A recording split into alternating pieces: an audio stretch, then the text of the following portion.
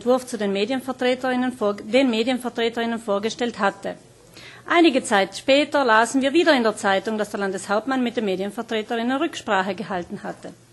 Viel erfuhr man nicht, wenn man bedenkt, dass es sich hier um, Gesetz, um ein Gesetz über die Medien handelte, für die die Berichterstattung über sich selbst von größtem Interesse und vor allem ein einfaches sein müsste. Zu uns Abgeordneten kam das Gesetz kurioserweise erst im letzten Moment. Die Einberufung des Gesetzgebungsausschusses mit Aushändigung des Gesetzes erfolgte während der Landtagssitzung, während der Landtagswoche Anfang Juli. Erst am Montag, 6. Juli, kamen wir also dazu, uns mit dem Text zu befassen. Da es sich um einen Gesetzestext handelte, der viele verschiedene und zum Teil auch miteinander konkurrierende oder gar kontrastierende Interessen betrifft, forderten die Kollegin Uli Meier und ich unverzüglich eine Anhörung der Medienvertreterinnen vor der Behandlung im Ausschuss. Erst bei der Ausschusssitzung selbst wurde uns, durch, wurde uns die Ablehnung dieser Forderung durch die Mehrheit mitgeteilt. Die markante Begründung, Anhörungen seien grundsätzlich immer sinnvoll und man müsse das daher grundsätzlich regeln, löste allgemeines Kopfschütteln aus. Man habe außerdem alle Medien im Vorfeld selbst anhören können. Wir lachten, auch nur angesichts der Vorstellung, dass im Land eine Woche lang keine Zeitung erscheinen würde, wenn alle Medienvertreterinnen jede einzelne Landtagsfraktion innerhalb weniger Tage abklappern müssten. Die Folge der Weigerung war, dass die Vertreterinnen des Gesetzgebungsausschusses kaum imstande gewesen waren, sich ein Bild der diversen Meinungen innerhalb der Medien zu machen. Dies war eine Machtdemonstration, die angesichts der anerkannt fairen Arbeitsweise der Minderheit nicht gerechtfertigt war. Es bleibt zu hoffen, dass in Zukunft bei den vorbereitenden Aussprachen der Landesregierung mit den Interessensvertretungen auch die Landtagsfraktionen eingeladen werden. Als erstes Entgegenkommen wurde uns das Dossier der schriftlichen Stellungnahmen der Medien ausgehändigt. Allerdings war es natürlich nicht mehr möglich, das Dossier im Hinblick auf die Arbeit im Ausschuss noch zu studieren. Im Nachhinein erfuhren wir von einzelnen Medienvertretern, dass sich das Gesetz zwischen der ersten und der letzten Vorstellung deutlich verändert hatte und Einwirkungen dann nur mehr auf dem informellen, persönlichen Wege durch den Gang zu einzelnen Abgeordneten möglich waren. Angemerkt wurde auch, dass es keine echte, offene Bedarfserhebung gegeben hatte. Für die Zukunft legen wir daher der Landesregierung nahe, partizipative Prozesse weiter vorne beginnen zu lassen, also noch vor der Produktion des Gesetzestextes, in einer gemeinsamen Analyse des Bestehenden und auch in einem simplen Einholen von Vorschlägen von verschiedenen Seiten. Nach diesem Vorspann begannen die Arbeiten im Ausschuss. Sie wurden immer wieder durch organisatorische Hindernisse verzögert, da viele Änderungsanträge aufgrund der Ungewissheit im Hinblick auf die Anhörung erst in letzter Sekunde eingereicht worden waren. Der Landeshauptmann als zuständiger Landesrat war bei der Vorstellung des Gesetzes und während der Generaldebatte anwesend und hat eingehend repliziert. Die Präsenz wurde allgemein positiv anerkannt. Die Arbeiten im Ausschuss verliefen nach anfänglichen Diskrepanzen sehr gut und zügig und im Klima parteienübergreifender Zusammenarbeit. Considerazioni generali e di principio sul disegno di legge. Come si afferma in modo piuttosto lapidario nella relazione accompagnatoria, l'obiettivo del disegno di legge è, citazione, sostenere le emittenti private radiofoniche e televisive nonché i portali di notizie online a tal fine va a modificare parti sostanziali della legge provinciale 18 marzo 2002 numero 6.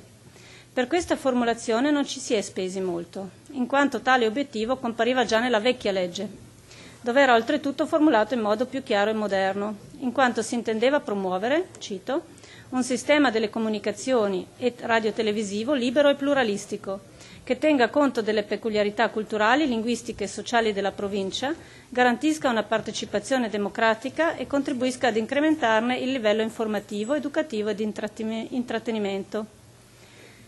I motivi per i quali si sono rese necessarie le modifiche della legge avrebbero potuto senz'altro essere indicati nella relazione accompagnatoria. Fraglos hat sich die Medienlandschaft in, den letzten 13 Jahren verändert. Und diesen äh, Veränderungen ist Rechnung zu tragen.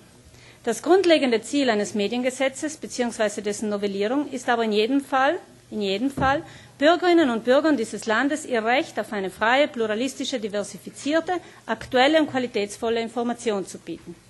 Indessen ist es das größte Defizit dieses Gesetzentwurfs, nicht von diesem gesellschaftlichen Grundrecht auszugehen, sondern von den Bedürfnissen der Medien. Das zeigen mehrere Stellen im Gesetzentwurf. Zudem ist auch die fehlende Einbindung der Mediennutzerinnen in die Gesetzesgenese ein deutliches Indiz dafür, dass die Adressaten des Gesetzes nicht die Südtiroler Bürgerinnen sind, sondern vielmehr die Medien. Mit ihnen wurde der Dialog geführt, ihre Interessen wurden gegeneinander aufgewogen und zum Teil erfüllt. Im Nachhinein haben wir erfahren, dass, nicht, dass nur ein Teil der Medienvertreter äh, angehört wurden. Für das Grundversprechen der Partizipation in dieser Legislatur eine verpasste Gelegenheit.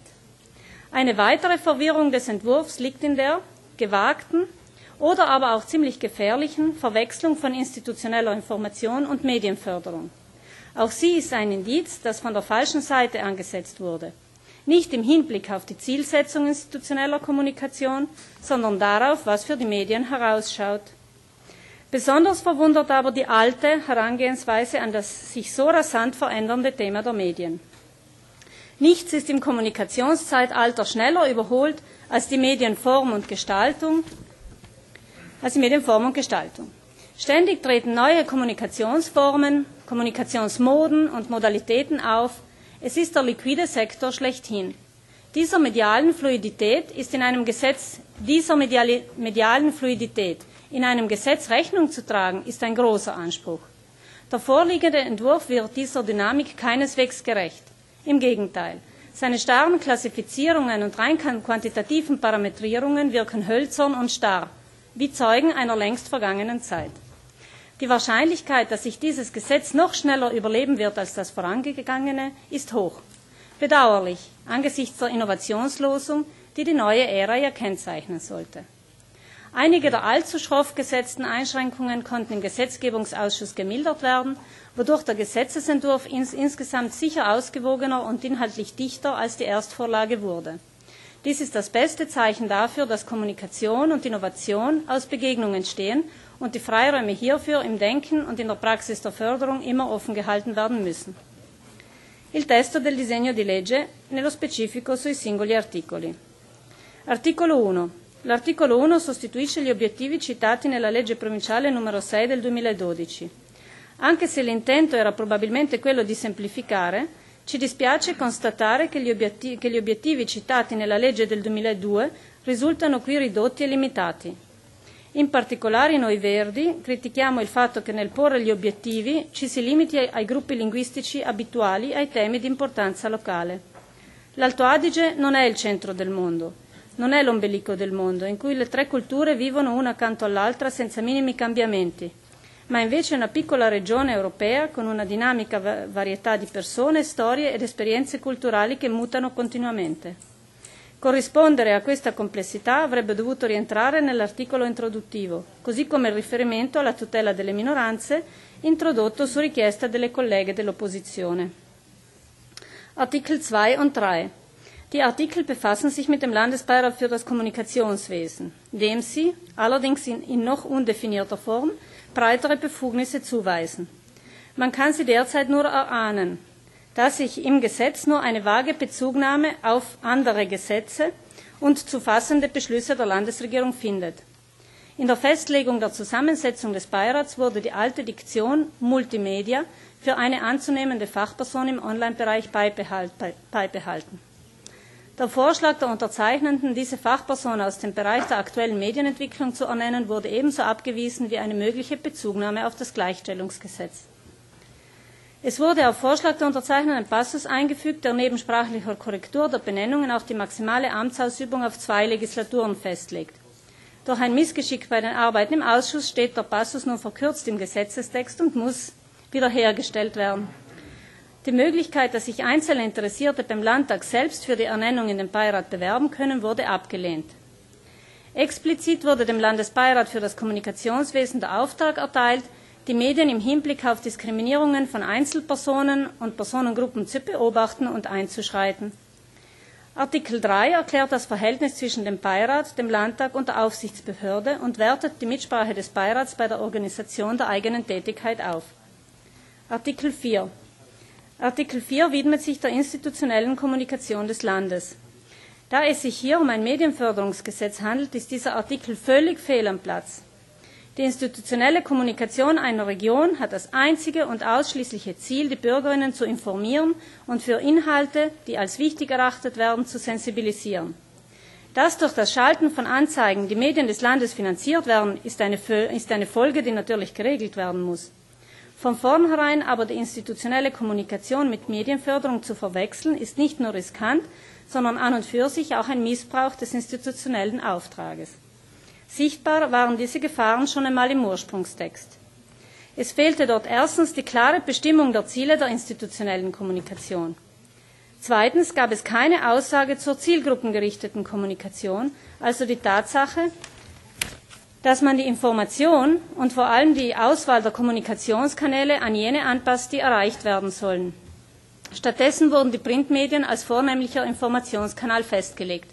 Das ist in heutiger Zeit völlig unverständlich wodurch gerade jüngere Bevölkerungsteile oder auch bildungsungewohnte Milieus gerade dadurch nicht oder nicht mehr erreicht werden können. Durch einen Änderungsantrag unserer Fraktion wurden diese beiden Punkte korrigiert. Im Text verbleiben dennoch zwei gravierende Mängel im Hinblick auf die institutionelle Kommunikation. So sollten Anzeigen erstens als solche kenntlich gemacht und die dafür bezahlte Summe sollte in der Anzeige mit aufscheinen. Bisher wurde Werbung also häufig als redaktioneller Beitrag kaschiert, auch was die institutionelle Kommunikation angeht. Die Transparenz ist nicht gewahrt. Dasselbe gilt für TV-Sendungen, die vom Land in Auftrag gegeben werden, aber gar nicht als solche wahrgenommen werden. Das Manipulationspotenzial liegt auf der Hand. Da entsprechende Änderungsanträge abgewiesen wurden, die Abhilfe geschafft hätten, scheint man sich hier weiter freie Hand vorbehalten zu wollen. Weiterhin wird es also Sendungen geben, in denen etwa das Selbstvermarkten von Landesräten mit öffentlichem Geld bezahlt wird. Die Geldgeberinnen, auch Steuerzahlerinnen genannt, gelangen dadurch aber erst in Kenntnis, wenn sie die öffentlichen Bilanzen studieren oder lustvoll in den Seiten der transparenten Verwaltung schmökern. Klarheit und Offenheit täten Not. Dies ist der einzige Ansatz, durch den die Information über sich selbst demokratisch erträglich gemacht werden kann. Artikel 5 das ist das zentrale Definitionsinstrument des Gesetzes im Hinblick auf Medientypen und Medienprodukte. Er ersetzt äh, den Artikel 9 des vormaligen Mediengesetzes, das auf einzelne Radiosender zugeschnitten war und den Bezug von Nachrichten bei einer Presseagentur, welche einen lokalen deutsch- oder ladinischsprachigen Dienst mit Sitz und Redaktion im Landesgebiet hat und deren Produktion und Verteilung vorwiegend in Südtirol erfolgt. Das wurde gefördert. Dieser Artikel ermöglichte allein für das Jahr 2013 die Ausschüttung von ca. 300.000 Euro, die sich gemäß Beschluss der Landesregierung Nummer 820 vom 14.07.2015 wie folgt verteilten. Die Tabelle findet ihr in der Vorlage. Diese Art der Förderung wird es künftig also nicht mehr geben. Dafür werden laut dem vorgelegten Artikel Radio- und TV-Sender und Online-Portale gefördert, die sogenannte förderwürdige Inhalte produzieren. Dieser Teil des Gesetzentwurfs legt aus unserer Sicht extrem starre und statische Standards fest, die sich vermutlich schnell überleben werden und die leider auch Qualität über Quantität definieren. So misst man etwa die Funktionalität eines Online-Portals an seinen zehn täglichen Nachrichten oder in der ursprünglichen Version an der Präsenz von zwei festangestellten Journalisten. Letzteres konnte mit einem Änderungsantrag gemildert werden, auch weil die Mitglieder des Ausschusses davon überzeugt wurden, dass diese Vorgabe der heutigen Medienlandschaft nicht mehr entspricht.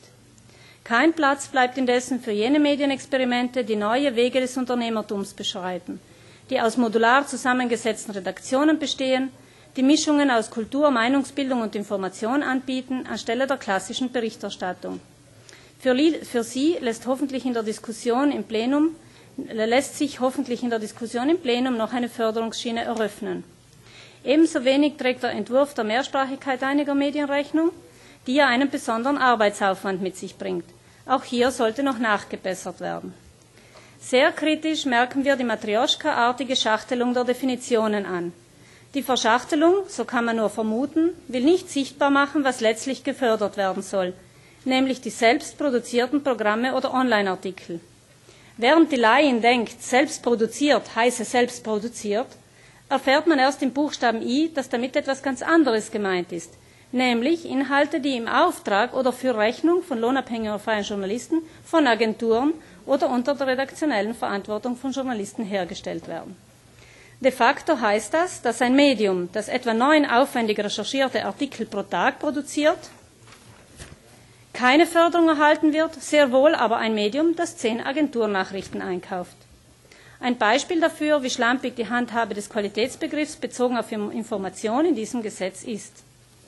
Als mangelhaft erachten wir schließlich auch die Eingrenzung auf die EU, was die Herkunft der Journalistinnen und Journalisten betrifft. Es gibt bereits Zweifel daran, ob die Eintragung in das nationale Berufsverzeichnis, staatliche Berufsverzeichnis, überhaupt eine Qualitätsgarantie bieten kann. Dass aber Staaten wie die Schweiz oder die USA ebenfalls fähige Journalistinnen hervorzubringen vermögen, sollte bekannt sein. Die Annahme unseres Änderungsantrages zur speziellen Förderung von Jungunternehmen im Medienbereich sehen wir als kleinen Schritt in Richtung Flexibilisierung des ansonsten so starr standardisierten Gesetzes. Artikel 6. Er definiert die Medienförderung als Dienstleistung von allgemeinem wirtschaftlichen Interesse im Sinne des Unionsrechts und regelt die Auszahlung der Förderungen als Verlustbeiträge. Der Erlass der Durchführungsbestimmungen wird wie üblich an die Landesregierung delegiert. Artikel 7 definiert die begünstigten Sender und Portale. Hier finden wir jene wieder, die die förderwürdigen Inhalte nicht nur herstellen, sondern auch herstellen lassen und die hiermit auf dieselbe Ebene gestellt werden. In der Folge werden die Ausschlusskriterien festgelegt, die man absolut teilen kann. Zufrieden sind wir damit, dass in einem Änderungsantrag, den alle Mitglieder des Gesetzgebungsausschusses geschlossen unterzeichneten, auch jene Medien von der Förderung ausgeschlossen werden, die diskriminierende Kommentare und Leserbriefe zulassen. Absatz 3 gibt die quantitativen Eckpfeiler der Förderung je nach Medienart für die zu erlassenden Kriterien vor. Artikel 8, hier schließlich finden wir die Finanzbestimmungen und die Quantifizierung der Beiträge auf eine Million Euro für das Haushaltsjahr 2015. Dies entspricht im etwa der, dem Rahmen der bisherigen Förderung gemäß Beschlüssen Landesregierung 819 und 820 vom 14.07.2015. Fazit. Ein neues Gesetz zu den immer noch neu genannten Medien wurde von der neuen Landesregierung vorgelegt. Einer neuen Zeit entspringt es aber nur zum Teil. Ansatzweise im Austausch mit Medienvertretern entstanden, wurden die Nutzerinnen im Vorfeld ebenso wenig einbezogen wie der Südtiroler Landtag. Kritische Reflexion über die eigene Rolle und deren Eingrenzung und Transparentmachung in der institutionellen Kommunikation kamen eindeutig zu kurz, wenn auch eine laue Offenheit gegenüber Verbesserungsvorschlägen spürbar war. Gewichtigster Kritikpunkt des Gesetzes bleibt aber die quantitative Standardisierung der Förderungswürdigkeit. Es wirkt so, als klammere, man, als klammere man sich an das Wenige, das aus der Welt der alten Medien an Messbarem überliefert ist. Dabei hätte man gerade hier Platz für Freiheit, Kreativität, Innovation und Fluidität schaffen können. Das hätte nicht nur der Südtiroler Medienlandschaft, sondern auch der Südtiroler Denk- und Meinungslandschaft ganz sicher gut getan. Vielen Dank. Danke, Kollegin Fuppa, für den Vortrag.